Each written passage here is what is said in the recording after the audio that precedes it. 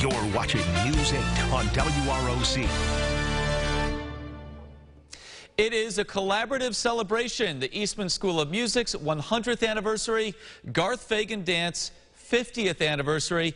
Performance coming up this Friday, October 1st at Kodak Hall Eastman Theater. Michael Burritt from the Eastman Percussion Ensemble is with us, along with Bill Ferguson from Garth Fagan Dance. Michael, uh, this is an exciting time for sure. Take us into the event Friday night. What will we experience?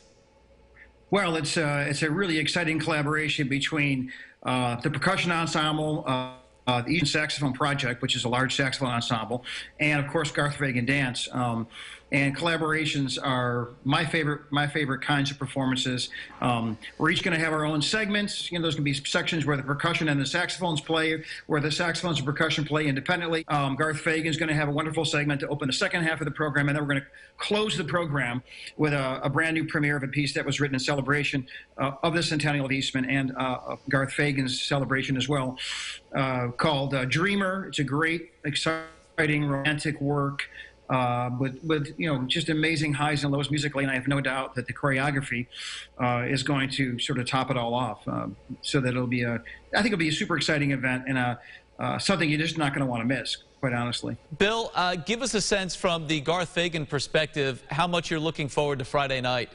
We're very excited, very excited. We're excited that we have an opportunity to bring arts to everybody in a theater, live art in a theater and you know at the frontier at the frontier of things you know putting together these three ensembles. I mean the, the ensembles like this with garth fagan dance is something that hasn't been done here in rochester at this level for a while. And we're we're happy to be able to semi inaugurate the performance performances coming back to theaters in rochester with this performance.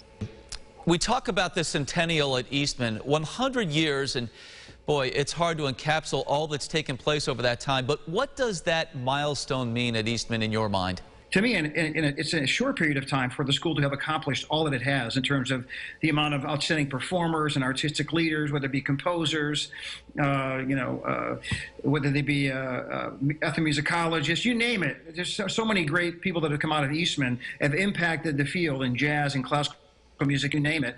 Uh, and 100 years is pretty remarkable that we've done as much as we have. So just wait for the next 100. It'll be even better, you know? 50 years for Garth Fagan Dance. Can you wrap your mind around that and all that's taken place over that time? It's a little bit daunting. One of the things that people like to say is that um, in Japan they sing they sing the Lion King in Japanese. In South Africa they sing it in Zulu. In, Ger- in Hamburg they sing it in German. In London they sing it in High English but everywhere the Lion King, Lion King is danced in Fagan. So um, we're proud to be able to bring what we do to the Eastman Theater with the Eastman School of Music.